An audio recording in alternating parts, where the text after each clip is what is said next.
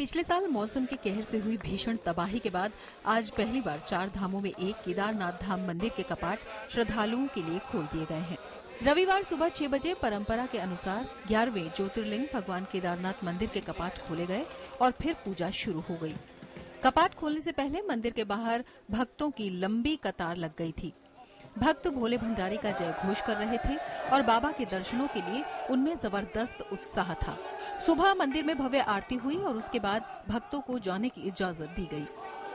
परंपरा के अनुसार जो अभी जो हुआ है 214 के लिए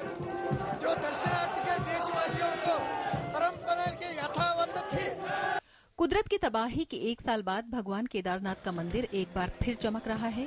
शिव के प्रिय वाहन नंदी पर फूलों का हार चढ़ा है।